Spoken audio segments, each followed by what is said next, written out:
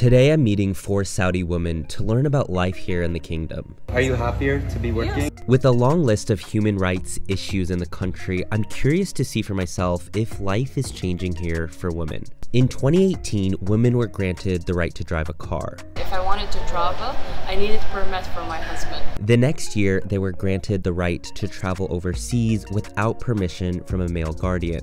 please how can i become a tour guide they said uh, it's only for men And most recently, women are now allowed to live alone without permission from a male guardian. I'm talking with four women today. Saudi's first female tour guide, saudi ladies are tough ladies a woman working in finance, It's exciting for everyone. the chef at my hotel breakfast, Saudi traditional food. and finally, a tour company startup founder.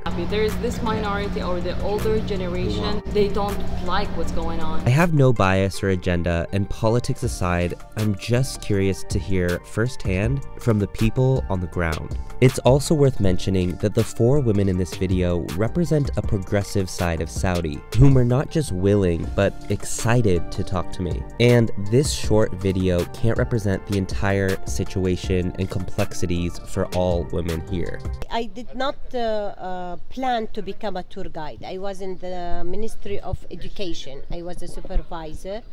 Then i wanted to register to help in the registration of this area in the unesco.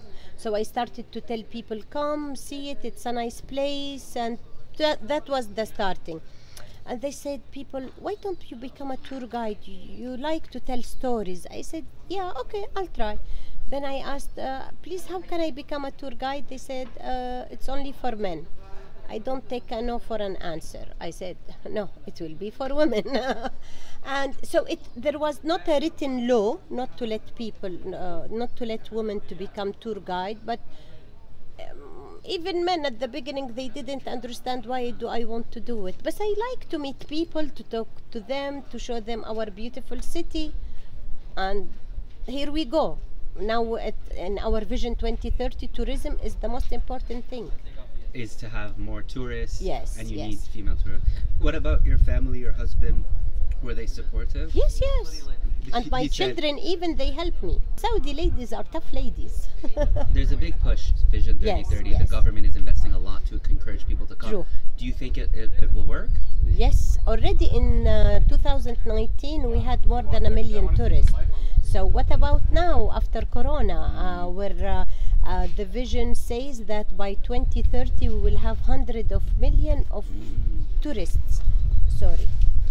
And are you educating other females or any Yes. males too, just in terms of Yes, yes. I'm a good tour guides? trainer with the WFTGA, World Federation of Tourist Guide uh, Association. I train them to be tour guides, and I'm really proud of them.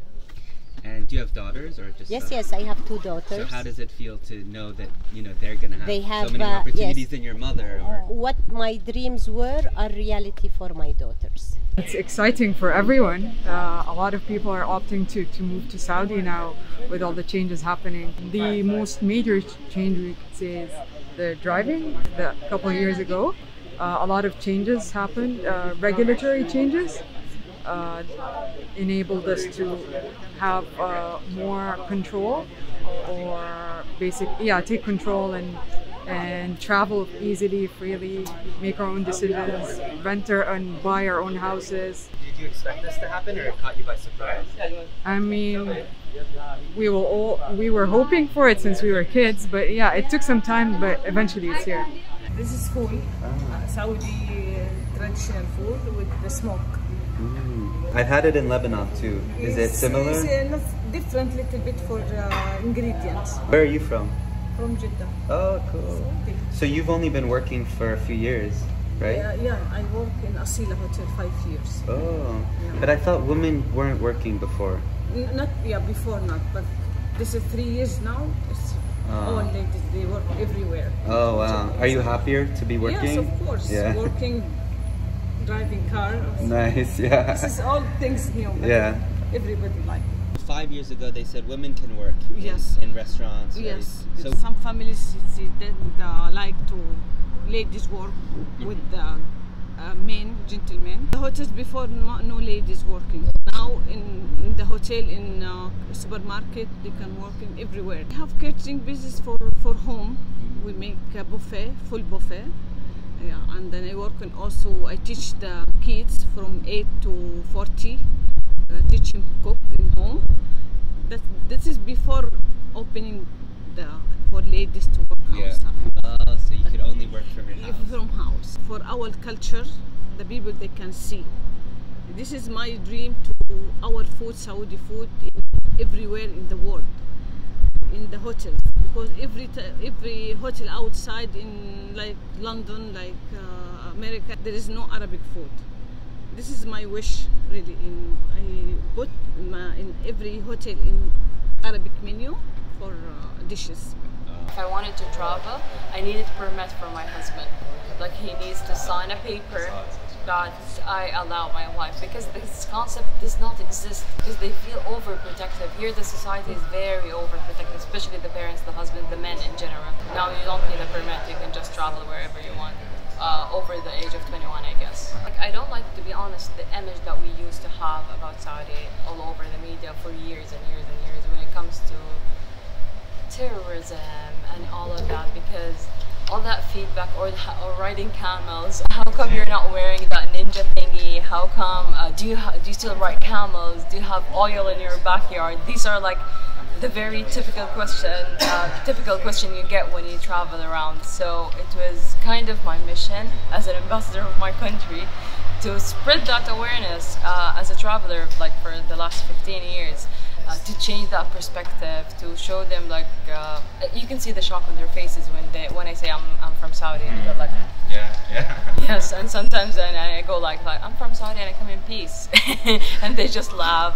We were not selling any tours for one year, and then in 2018 we started this first trip. It was it was really scary for me. I had to wait for the group in Zanzibar, and I was at the airport waiting for everyone, and I'm very anxious. And it was all females, Saudi No, females. no, no, we had a mixed group. Wow. And then later on, But all Saudi, Saudi national. all Saudis, yes. Uh, but we got we Couples? Like any single No, no, females no. this Single, mainly they were females. We have like 80% of our travelers are females. Okay. Um, most of them they want to travel solo, but not solo. Uh, yeah, Like, yeah, they want yeah. that group. Yes, I want to go alone, but with people that exactly. Yeah, but not my friends. exactly, exactly. I want to go do whatever I want, but I want to feel like I have someone who's taking care of me. Yes, exactly. And what what made it amazing to me that every trip when I come back, I get this amazing feedback from them, and then they started traveling on their own. So I was like, yes, this is the window for them to open that door, these places to discover on their own. So the first step is with us. The second step, go ahead and discover the world. You can do it now. So this was like, this is exactly what I wanted. It's it's it's not easy to be honest at the beginning, but uh, it's, here in Saudi, it, it, it, beca- it became very helpful having the government having your back, even when you're facing the society. Not everyone is accepting what's going on. Not everyone is really happy. There is this minority or the older generation. conservative values. Exactly, they still hold on to these values and uh, these uh, like standards, and they don't like what's going on. But the majority, like 70% of, of Saudi, are um, the younger generation between 30 and 35. So basically, we've been waiting for these opportunities for so long. Um, and then when MBS came, he's just like us. He's this young prince who's one who wants to open everything concerts, festivals, cinemas, ladies can drive. He wanted this. So having that on your back, you can face the society and face whoever is against that.